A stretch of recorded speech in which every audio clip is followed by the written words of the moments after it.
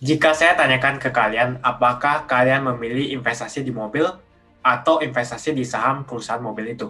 Yang lebih spesifik adalah beli mobil Tesla atau beli saham Tesla. Kalian sebagai smart traders pasti tahu jawabannya.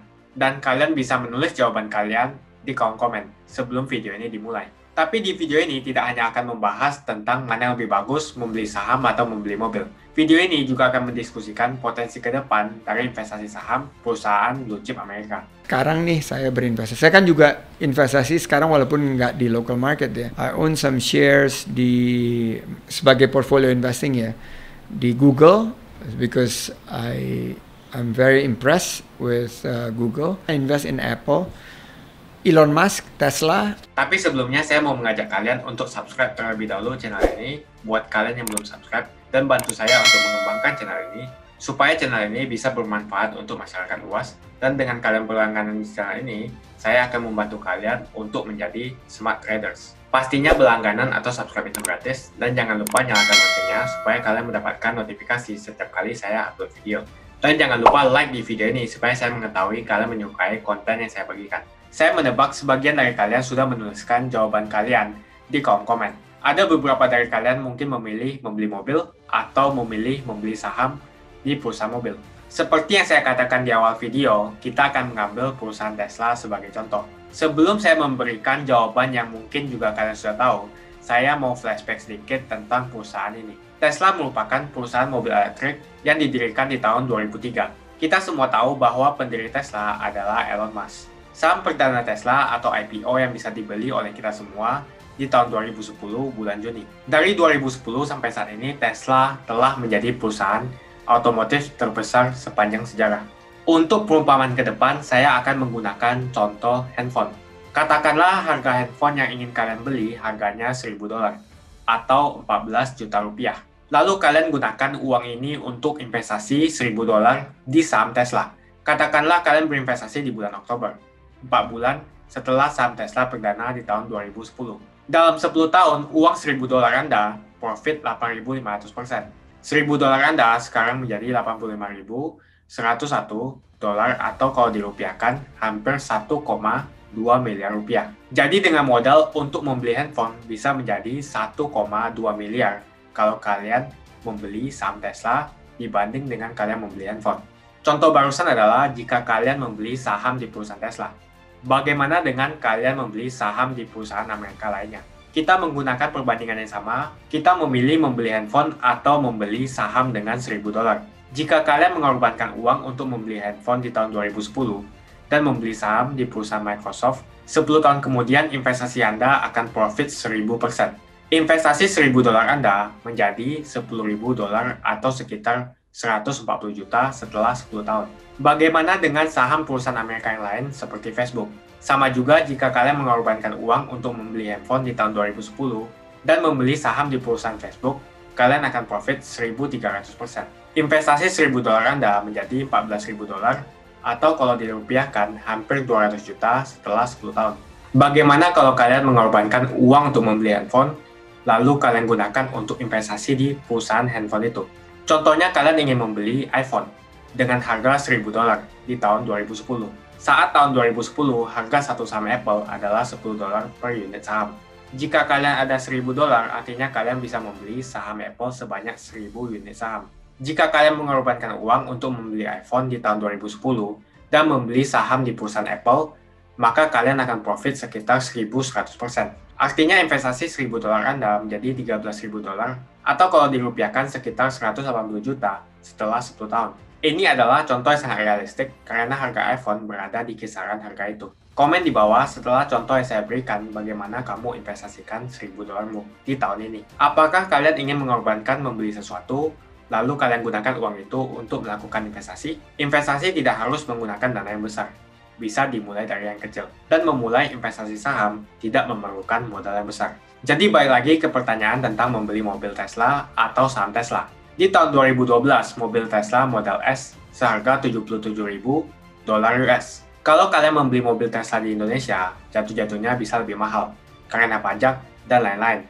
Bisa 2 sampai 3 kali lipat. Jadi mobil Tesla kalau di US harganya hampir 1 miliar kalau dirupiahkan. Kalau kalian membeli mobil Tesla di Indonesia, dijual kisaran 3 hingga 4 M. Katakanlah mobil Tesla kita beli dengan harga 77 ribu dolar. Perbandingan 77 ribu dolar bisa membeli saham Tesla sebanyak 11.390 unit saham. Sekarang kita fast forward di tahun 2021.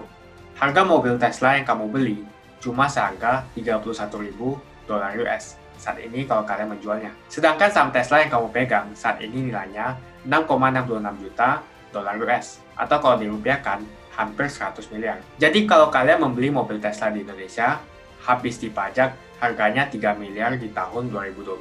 Kalau kalian bandingkan dengan saham Tesla yang bisa kalian beli saat itu, harga saham Tesla kalian nilainya menjadi 300 miliar rupiah. Jadi bagaimana prospek Tesla ke depan? Apakah akan terus naik? Di balik Tesla ada sosok Elon Musk, yang kita ketahui CEO dari perusahaan SpaceX, OpenAI, dan lain-lain. Menurut saya, perusahaan bagus seperti Tesla akan terus mengalami kenaikan 10 tahun ke depan. Karena perusahaan Tesla memiliki potensi yang besar, begitu juga saham Amerika lainnya yang saya sebutkan di atas. Jadi apa yang kalian tunggu? Investasilah sedini mungkin.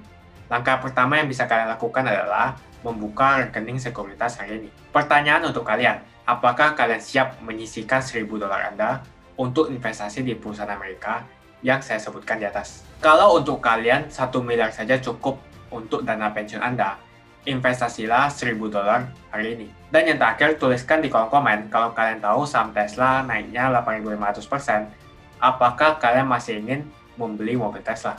Jika uang kalian diinvestasikan di saham dan ditunggu 10 tahun, maka kalian bisa membeli 100 mobil Tesla. Sekarang nih saya berinvestasi. Saya kan juga investasi sekarang walaupun nggak di local market ya investasi lebih banyak di luar market. Jadi I look at misalnya I invest in Apple, um, it's because I see Tim Cook uh, as a as a great CEO, one of the very best uh, this world uh, has to offer.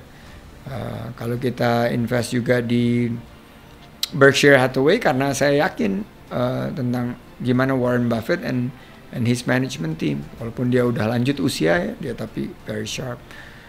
Um, I I think I don't I own I don't own shares di Netflix. I own some shares di sebagai portfolio investing ya di Google because I I'm very impressed with uh, Google uh, dan um, Elon Musk Tesla itu juga karena uh, he has a consistent track record. Dia produce amazingly great uh, innovations and uh, SpaceX, Tesla dan lain sebagainya. Jadi good product, uh, breakthrough innovations, those type of track records yang kita mesti lihat. Nah, kerucutin sekarang ke Indonesia-nya. Kita cari nih siapa nih uh, Microsoft Microsoftnya di sini belum ada. Semenjak era teknologi, sekarang semua menjadi sangat simpel. Kita tinggal menggunakan eToro untuk membeli atau menjual saham. Untuk metode berinvestasi di saham perusahaan, kalian bisa cek video yang lain. Yang bisa kalian lakukan adalah daftar rekening hari ini, link bisa kalian akses di kolom deskripsi. Semakin tekun Anda belajar, maka semakin cepat Anda mencetak uang di pasar saham. Dan ingat, investasi adalah soal waktu. Jadi semakin awal kita memulai investasi, maka akan semakin ringan pula kita akan mencapai tujuan itu. Semoga video ini membantu Anda untuk melihat kembali investasi Anda dan mengatur strategi Anda dalam memilih perusahaan yang akan Anda investasikan dan memilih investasi sesuai dengan perkembangan market untuk lima tahun ke depan. Dalam jangka panjang, ekonomi dan saham US selalu mengalami kenaikan. Kalau kalian suka dengan video ini, share video ini ke satu teman Anda. Kalau kalian ingin melakukan investasi atau trading, kalian bisa menggunakan eToro. Yang perlu kalian lakukan adalah daftar akun gratis, transfer dana, lalu kalian bisa beli atau jual sama apa pun yang kalian mau dari HP atau komputer. Dan di eToro tidak ada fee atau biaya apa pun ketika melakukan trading, tidak seperti broker lain. Karena eToro adalah commission free brokerage. Dan yang paling bagus adalah jika kalian deposit 200 dolar di eToro di bulan ini, maka kalian akan mendapatkan kelas trading dari saya yang nilainya 3 juta rupiah dan bisa kalian akses seumur hidup. Tentu saja ada batas waktunya dan sampai kuotanya habis atau promonya habis. Jadi kalau kalian mau ikutan, caranya gampang, register gratis, deposit, lalu kalian akan mendapatkan kelas trading secara gratis di bulan ini. Jika ada pertanyaan atau bantuan mengenai pendaftaran ataupun promo kelas trading, bisa langsung hubungi WhatsApp di plus 65 9079 2393 atau cek di kolom deskripsi atau di kolom bio.